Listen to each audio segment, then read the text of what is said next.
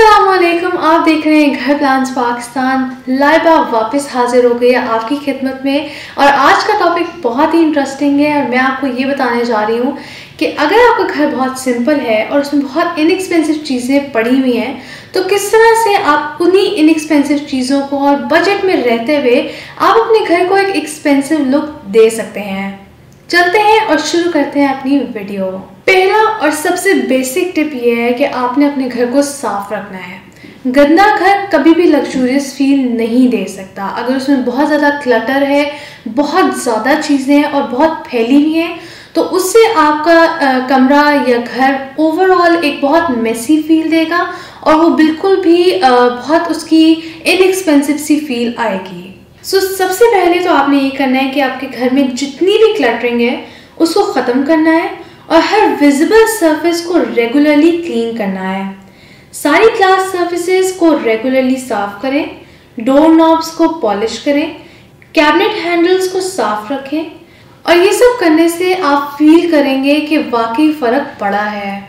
उसके अलावा अगर आपके घर में वुडन फ्लोरिंग है तो उसको ऑयल पॉलिश करवा लें उसके बाद उसमें उसको क्लीन करके उसके ऊपर ड्राई क्लॉथ जब आप फेरेंगे तो आप फील करेंगे कि उससे भी बहुत अच्छी उसकी लुक निकल आएगी।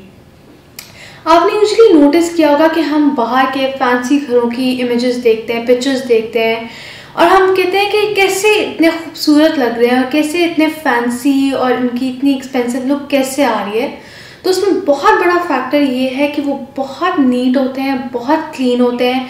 उनकी जितनी भी ग्लास सर्फेसिस होती हैं, जितने भी फ्लोर्स होते हैं फ्लोर्स इतने साफ़ होते हैं कि आप लिटरली उसमें अपना रिफ्लेक्शन भी देख सकते हैं। ग्लास सर्फेसिस ऐसे चमक रही होती हैं और वो यही रीज़न है कि वो एक बहुत एक्सपेंसिव लुक दे रही होती है। तो अगर आपके ग्लास सर्फेसिस पे कोई भी सरफेस नीचे मिट्टी है, ऊपर मिट्टी है तो ऑब्वियसली वो वो लुक नहीं आएगी। तो अपने घर को आपने सबसे पहले बहुत ज़्यादा साफ़ रखना है। Tip number two to make your home look expensive ज़्यादा कलर्स अपने घर में बिल्कुल ऐड मत करें। गो फॉर न्यूट्रल कलर्स या एक दो कलर्स का कॉन्ट्रास्ट भी आप बना सकते हैं। May be you can go for light colour sofas जैसे कि ग्रे और ऑफ़ वाइट और उसके साथ आप ऐड कर सकते हैं कलर्ड कुशंस वो पैटर्न्स वाले भी हो सकते हैं या डिफरेंट टेक्सचर्स वाले भी। एंड ऑफ़ कोर्स जब आप न्यूट्रल कलर्स यूज़ कर रहे होते हैं तो उसके साथ आप एसेसरीज uh, के साथ प्ले अराउंड कर सकते हैं। उनको डिफरेंट आप कलर्स दे सकते हैं अगर आपको कलर्स का शौक है। तो ओवरऑल जब आप न्यूट्रल कलर्स यूज़ करते हैं तो आपके रूम की भी एक अच्छी लुक आती है और एक एक्सपेंसिव फील वो देता है। अब जिस पॉइंट के मैं बात करने लगी हूँ वो है लाइटिंग लाइटिंग एक बहुत ही की एलिमेंट है किसी भी घर को लग्जूरियस फील देने के लिए। आपके घर की लाइटिंग ऐसी होनी चाहिए कि जो भी उसको देखे, वो एक अटेंशन ग्राबिंग एलिमेंट हो। सो इंस्टेड ऑफ़ दिस कि आप बहुत एक्सपेंसिव शैंडलेस के ऊपर इतने ज़्यादा पैसे स्पेंड करें, अगर आप पसंद करते हैं तो ऑफकोर्स आप कर सकते हैं, लेकिन उसका एक बहुत बेहतर और बहुत अच्छा ऑल्टरनेटिव ये है कि आप पेंडेंट लाइट्स लगवाएँ। पेंडेंट लाइट्स इतनी एक्सपेंसिव नहीं होती और वो ओवरऑल एक बहुत डिज़ाइन का एलिमेंट भी ऐड कर रही होती हैं और लाइटिंग भी अच्छी दे रही होती हैं। याद रहे रिमेंबर दिस कि लाइटिंग एक बहुत इंपॉर्टेंट पॉइंट है किसी भी घर को एक ओवरऑल लुक और घर का एटमोसफेयर क्रिएट करने के लिए लाइटिंग इज़ रियली इंपॉर्टेंट कोई भी चेयर अगर अच्छी डिज़ाइन की हो और अच्छे कलर्स की हो तो रूम में एक इम्पैक्ट ऐड करती है। मुझे पर्सनली एक्सेंट चेयर्स बहुत ज़्यादा पसंद है। वो इसलिए क्योंकि ये अच्छी लगती हैं और रूम में कलर टेक्सचर और कंट्रास्ट ऐड करती हैं। ये आसानी से किसी भी स्पेस की मिनोटनी ब्रेक करती हैं। एलिगेंट और कंटेम्प्रेरी स्पेसेस में आपने देखा होगा कि डिफरेंट फर्नीचर्स को कंबाइन किया जाता है। जैसे एक सोफा के साथ एक एक्सेंट चेयर कंबाइन की जाती है। अगर उनमें डिफरेंट शेप्स हों कलर्स हों तो वो रूम में और भी एलिगेंस ऐड कर देती हैं। इंस्टेड ऑफ़ दिस कि आप एक ही सेट का, एक ही शेप के फर्नीचर खरीद रहे हों। तो अगर आप अपने घर को इंटरेस्टिंग और ज़्यादा खूबसूरत बनाना चाहते हैं तो एक्सेंट चेयर ज़रूर ऐड करें। मेरी नेक्स्ट फेवरेट चीज़ है फ्रेश फ्लावर्स एंड ग्रीनरी अगर आप ज़्यादा इंडोर प्लांट्स ऐड करेंगे तो उससे आपका घर फ्रेश लगेगा। अब आपके पास इनमें दो ऑप्शंस आती हैं। एक तो आप ये कर सकते हैं कि एक बड़ा प्लांट ऐड कर सकते हैं किसी कॉर्नर में।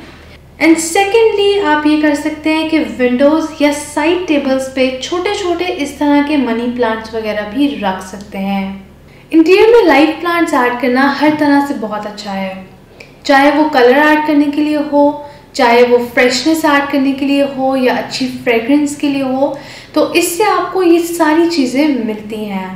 अगर हम बात करें मिरर्स की तो मुझे ऐसा फील होता है कि मिरर हमारे घर में जहाँ भी लगे हों, वो एक इंस्टेंट ग्लैमर ऐड करता है। स्पेशली बड़े साइज़ के मिरर्स बाथरूम में अगर मिरर्स की बात करें तो अगर वॉल टू वॉल मिरर्स हैं तो वो भी बहुत एक्सपेंसिव फील देता है।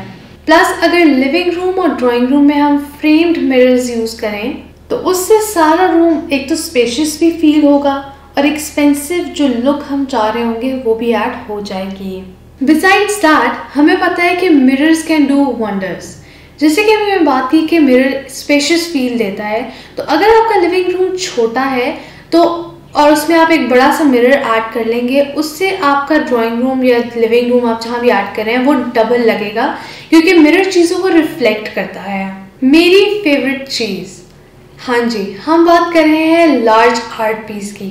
अगर इसकी बात ना की जाती तो शायद वीडियो में कुछ मिसिंग ज़रूर फील होता।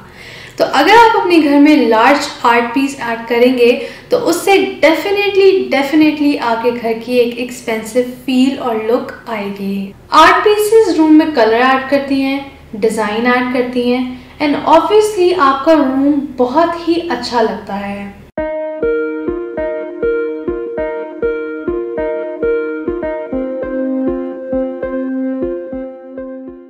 बड़ा स्टेटमेंट आर्ट पीस ऑब्वियसली थोड़ा सा एक्सपेंसिव होता है।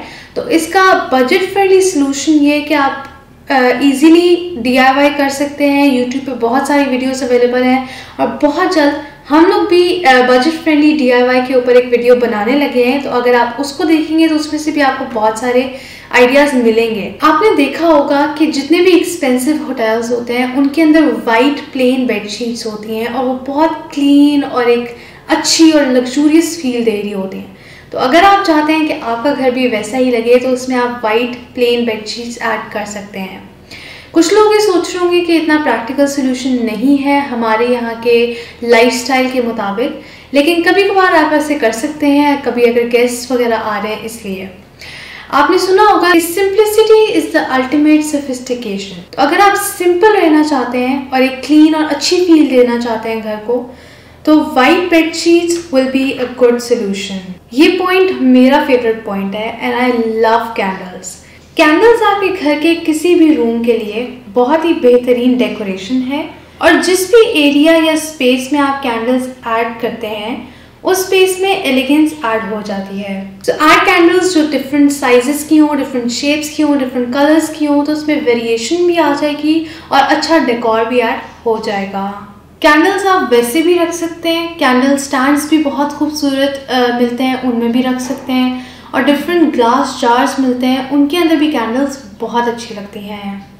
स्मॉल डिटेल्स मैटर बहुत से लोग इस पर फोकस नहीं करते हैं और उनको लगता है कि छोटे छोटे डेकोरेशन पीसेस से क्या फ़र्क पड़ता है, लेकिन वही वो डिटेल्स होती हैं जो कि किसी भी रूम में अगर आपको कोई चीज़ मिसिंग फील हो रही होती है तो आपने वहाँ पर स्मॉल डिटेल्स ऐड करनी होती हैं। अब जैसे यहाँ पर मैंने ये कैंडल ऐड की हुई है, ये स्मॉल डिटेल है और इसमें एक ओवरऑल एक एलिगेंस ऐड कर रही होगी। उसके अलावा आप कोई छोटा सा गोल्स में अगर कोई छोटा सा डेकोरेशन पीस है, आप वो ऐड कर सकते हैं। उससे भी बहुत एलिगेंस ऐड होगी। तो ये छोटी छोटी चीज़ें होती हैं जो कि आपके रूम को अच्छी लुक देती हैं। आज की वीडियो के लिए इतना ही। उम्मीद है कि आपको वीडियो पसंद आई होगी। अगर आपने अभी तक हमारा चैनल सब्सक्राइब नहीं किया तो इसको फ़ौरन सब्सक्राइब कर लें और इस वीडियो को लाइक और शेयर करना ना भूलिएगा। टिल नेक्स्ट टाइम अल्लाह हाफिज़